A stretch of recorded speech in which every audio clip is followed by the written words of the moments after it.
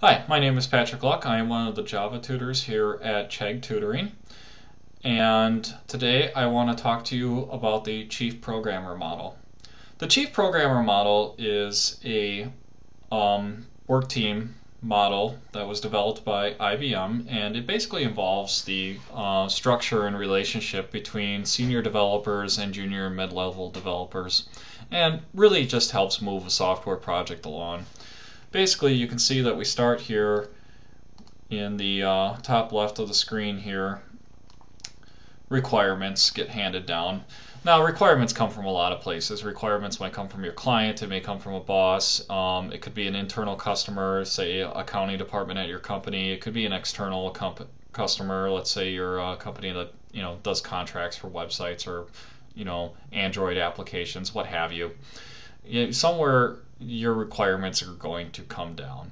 And it's really just best to let the most senior and most experienced people go through those requirements and uh, figure out what is expected between the development team and the clients. Because one of the big challenges is many times uh, the developers really know very little about what they're asked to be make. So, for example, um, you know, if a developer is being asked to make a scientific analyst program for scientists, for example, the scientists may know their research very well. Let's say they're biology scientists, and you know they specialize in doing that type of biology research. Or, but what, you know, what do programmers know about biology research?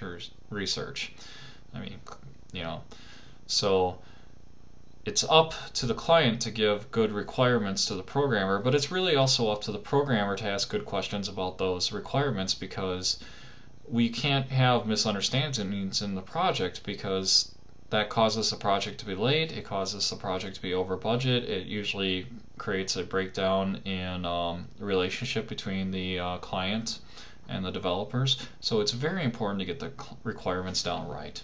And so we give those off to the chief programmer here. And his job is to look, create some tasks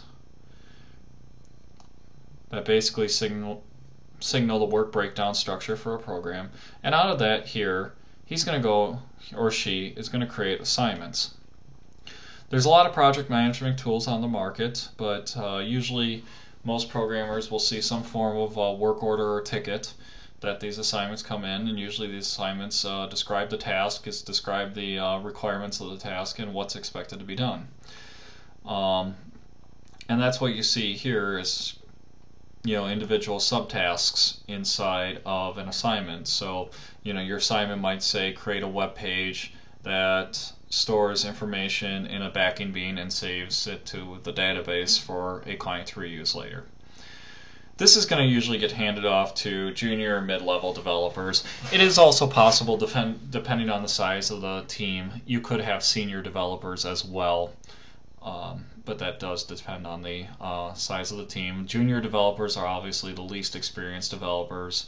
Usually these are recent graduates from college or people who just entered the um, programming workforce. Mid-level developers generally people with about three to five years experience it depends on the company. Some companies consider want more experience before they consider a mid-level developer but it really depends. And what the junior and mid-level developers do they're kind of the workhorses here in this uh, this sort of team model here. It's their job to write the day-to-day -day code you, may have the chief programmer also writing day-to-day code. It depends on the size of the team again. But larger teams, the chief programmer may not uh, have anything to do with the code other than, let's say, reviewing it to make sure it's good code that gets checked into the project. Um, bigger the team, the more there is a chief programmer to do, obviously. So some chief programmers still program, some of them do not we're going to usually get some sort of results from the junior mid-level developers and a good um, a good team will usually review the code and have the code looked at by other developers. This is kind of the equivalent of having someone proofread your paper before you turn it in. Uh, what one developer considers to be good code may not be considered good code by another developer. So code reviews are very, very important. Um, results can also include things such as um, do we check to see if the assignment was done correctly? You know, if you were asked to um, make a web page that tracked first, middle, and last name, but you left out middle name, you probably want that caught before the client sees it. So we're gonna we're gonna check that there, and then usually coming out of the results could very possibly be new assignments again, which again get turned into tasks by the chief programmer. And you know this is a chief programmer up here.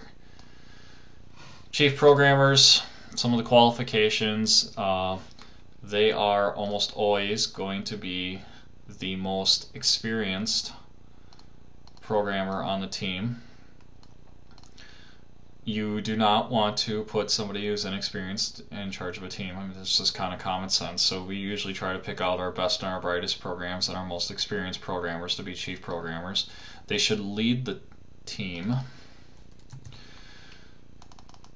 So more or less, they're the, they're going to be the project lead is another name for chief programmer, but they're going to be the one that's answerable for the development team, usually between uh, some sort of management or directly to the client. Uh, usually, the um, chief programmer will be in involved in the design of the code to make sure that the code is designed well prior to actual coding. Um, that's very important, and this is part of the reason also that we have our most experienced programmers be the chief programmers.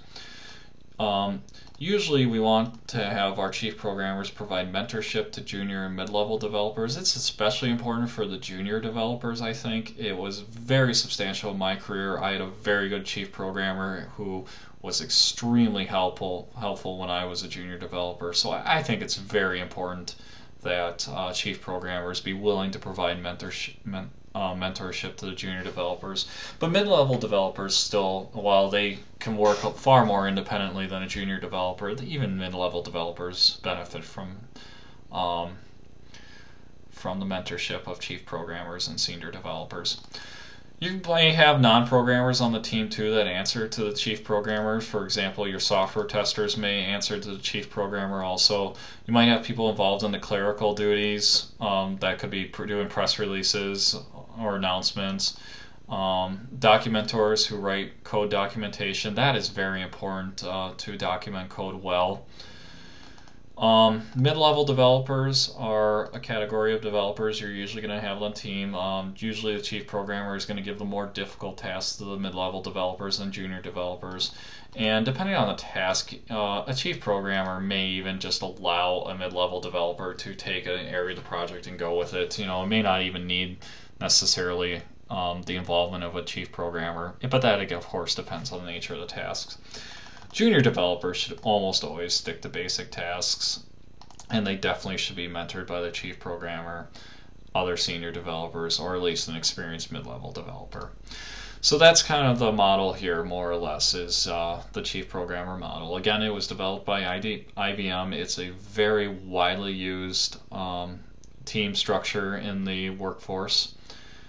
And um, it centers around a project lead or a chief programmer who is the most experienced and uh, provides the guidance and the mentorship to the rest of the team so that software projects can be a success. From Chegg Tutors, my name is Patrick Luck. I hope you enjoyed this video. Have a great evening, folks.